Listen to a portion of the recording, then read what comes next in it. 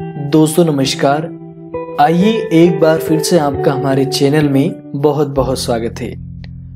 दोस्तों, जैसा कि हम सभी जानते हैं कि व्यक्ति की उम्र बढ़ने के साथ साथ मुझे और दाढ़ी के बाल भी सफ़ेद होने शुरू हो जाते हैं। ये एक आम बात है, लेकिन समस्या तब बढ़ जाती है जब आपकी एज कम है, लेकिन फिर भी आपके दाढ़ी मूछों के बाल सफ़ेद होने लग गए हैं। तो ऐसे में दाढ़ी मुछों के बाल ब्लैक ना होने की वजह से लोग शेविंग करते हैं और अपने सफ़ेद बालों को छुपाते हैं। लेकिन कुछ नुस्खे आप अगर जान लें और उन्हें अगर आप अपना लें तो आप अपने दाढ़ी मुछों के सफ़ेद बालों से राहत पा सकते हैं और उन्हें अपने आप ही कुछ घरेलू नुस्खे अपनाकर फिर से ब्लैक कर सकते हैं, काले कर सकते हैं। तो आइए कुछ नुस्खे जो हैं, वो हम जान लेते हैं और अगर आप उन्हें अपना लेते हैं तो आप दोबारा से अपनी दाढ़ी मुछों के बालों को काला कर सकते हैं, ब्लैक कर सकते हैं। लेकिन उससे पहले अगर आपने हमारा ये चैनल सब्सक्राइब नहीं किया है तो चैनल को सब्सक्राइब ज़रूर कर लीजिए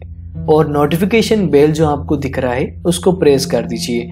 और किसी भी तरह की कोई प्रॉब्लम आपको हो रही है, कोई समस्या है तो उसके आप अगर नुस्खे जानना चाहते हैं तो वीडियो के नीचे कमेंट करके हमें ज़रूर बताएँ। आइए हम जान लेते हैं कि दाढ़ी और मूछ के बाल सफ़ेद होने के कारण क्या हो सकते हैं? ये जानना हमारे लिए सबसे ज़रूरी है। नंबर वन तो है धूमपान करना, तंबाकू, गुटके वगैरह खाना, शराब पीना।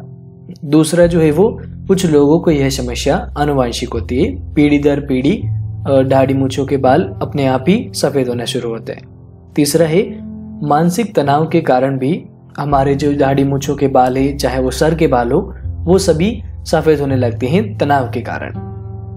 तो आइए हम जान लेते हैं कि दाढ़ी के सफ़ेद बाल को हम कैसे काला कर सकते हैं, कैसे ब्लैक कर सकते हैं, इसके उपाय और कुछ देसी घरेलू नुस्खे अपनाकर।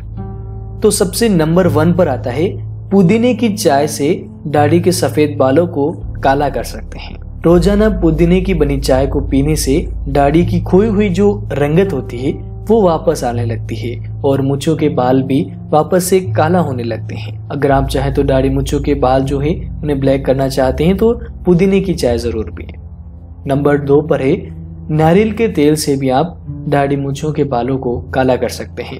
आप सबसे पहले नारियल का तेल लेकर उसमें थोड़ा सा कड़ी के पत्ते डालकर अच्छे से उबाल लें। फिर ठंडा होने के बाद वो जो तेल होता है, उसे मूछ और दाढ़ी की मालिश ज़रूर करें। रोज़ाना ये उपाय करने से आपको कुछ ही दिनों में ये जानने को मिलेगा कि आपके जो दाढ़ी के बाल हैं वो दोबारा से ब्लैक होने शुरू हो चुके हैं। नंबर थ्री पर है, दाढ़ी के पकने की समस्या का इलाज करने के लिए आप आंवले का रस का सेवन ज़रूर कर सकते हैं। कम से कम यह एक महीने तक रोज़ाना करें। यह उपाय बहुत कारगर माना गया है। सर्वे के हिसाब से भी काफ़ी अच्छा रिज़ल्ट इसको मिला है। आप चाहे तो कड़ी पत्तों के साथ पानी में थोड़ा सा आंवला डालकर भी सेवन कर सकते हैं। नंबर फोर है, कड़ी के पत्तों से भी आप सफ़ेद बालों को काला कर सकते हैं। इसकी प्रक्रिया जानते हैं सबसे पहले आप 100 एम पानी लेकर उसमें कड़ी के पत्ते डालकर अच्छे से उबालें। जब यह पानी आधा रह जाए तो गैस बंद कर दीजिए, उसके बाद में ठंडा होने के बाद पिए। रोज़ाना यह देसी नुस्खा अपना कर आप अपने ढाड़ी, मूछों के बालों को वापस से काला होते हुए देखेंगे।